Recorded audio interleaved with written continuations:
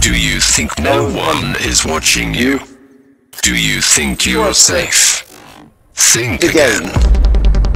Project Fear's growing number of followers is an imminent threat to the human race.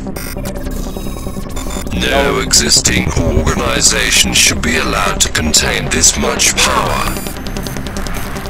That is- why we will stop you. No place to run.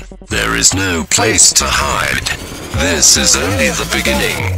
We will take down the project. We will take down the project. We will take down the project.